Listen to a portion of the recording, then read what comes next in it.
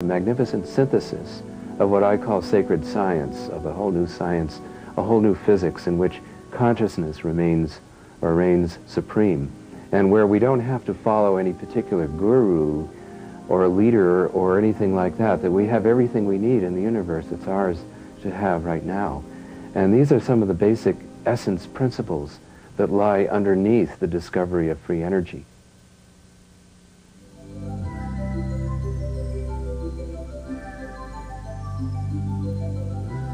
The force of inertia is known in mechanics, but until only recently, it had been considered too weak and difficult to harness for propulsion. According to some theorists, like Hal Puthoff, inertia, like gravity, is what occurs when we try to accelerate an object against the zero-point fluctuations in the vacuum. We run into resistance, literally. Canadian inventor Roy Thornson has developed an inertial impulse propulsion engine which overcomes that resistance using centrifugal force. It pushes against nothing and emits no exhaust, but it's been calculated to be 20 times more efficient than a jet engine.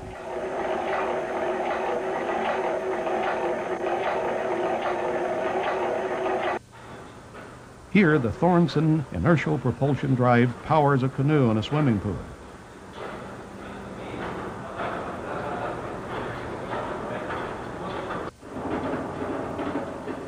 The motor, which is housed in a box, never contacts the water or air.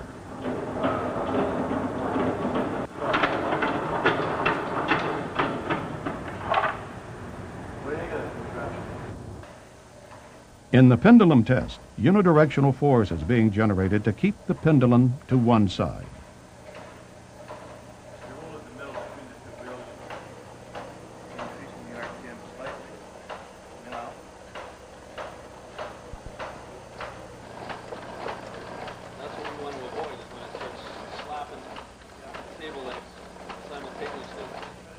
Whether or not uh, we can demonstrate, as I have, with engineering analysis and, um, and models that will climb an incline, will pass a, a, pendulum test, in other words, stay on one side of the pendulum consistently, and even power a canoe in a swimming pool, commercialization of that device is still a, a very difficult road. And we see that in many inventions, but what I like to emphasize is my F over P uh, measurement of that is literally 20 times better than the jet engine.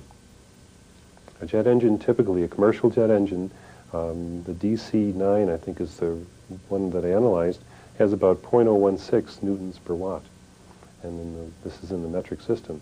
Now, when we look at the Thornson, he's able to achieve 0.3, 0.32 newtons per watt, literally 20 times better than the uh, jet engine.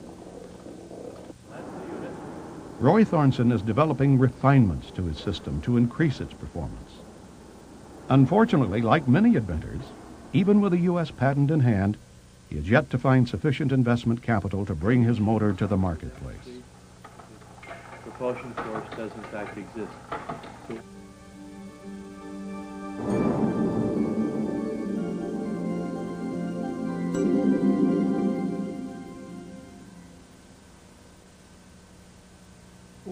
all seen these little toy gizmos that demonstrate lightning in a bottle. It's the electric phenomenon called plasma discharge. Various inventors, working independently, are coming up with some exotic combinations of gases, metals, and processes to actually squeeze excess electrical energy out of this phenomenon of nature. In 1996, Paulo and Alexandra Correa received the first patent for such a device called the Pulsed Abnormal Glow Discharge Reactor, the first of its kind to convert plasma discharge directly into electricity. This is a standard. Utah inventor Paul Pantone has developed what he calls the GEET fuel processor, a plasma generator similar to a super carburetor that actually appears to run on 80% water and is entirely non-polluting. This device replaces the carburetor and exhaust and combines them as one unit, whereas this end of it acts as a miniature refinery, allowing the engine to run on everything from battery acid and water mixed to crude oil right out of the ground. This is Angola crude, a 39.5 gravity.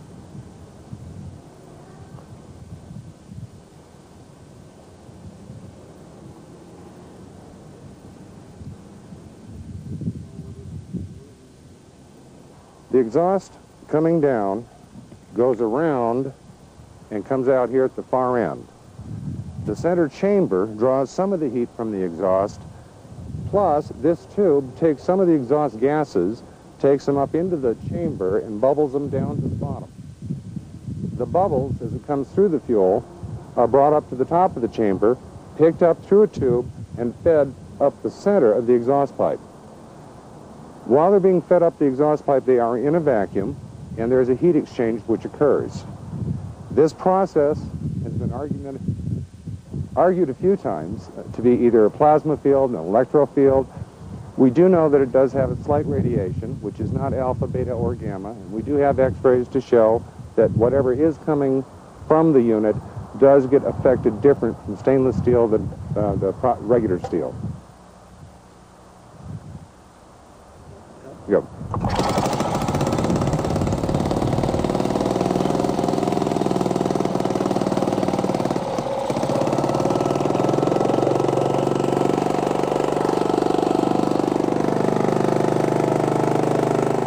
When the temperature of the exhaust is the same as the air temperature going in from the air portion up here. Normally 1, 3% more oxygen coming out of the tailpipe than there is in the air we're breathing. And no carbon at all. Carbon vanishes. I wouldn't say vanishes, I would say transmuted into some other substance, a lighter element, because we have an abundance of lighter elements here that are not explained from down here. But during the heat process, uh, there are molecular changes after running this engine from 1983 until now, and many times we had it running eight, eight, eight and a half hours a day, uh, we have never had to change the spark plug, change the oil, or clean it. We have taken the head off three times to inspect the inside of it, and it's been spotless. What we have here is the Pantone GEET device fitted to a Ford 2300cc four-cylinder engine. As you can see, we had we have a, a see-through container here, which holds the fuel. As the engine is started, air is drawn in by vacuum through the fuel and bubbles the fuel, the vapors of which are drawn off here. They travel down this hose into our reaction chamber they go up the reaction chamber and return back out here to be intake to be taken into the engine through this tube. This is our air filter, and this tube is connected to another valve, which are controlled by this linkage, operating the air intake and the fuel intake. This is the valve that controls the return air going through this tube into the bubbler.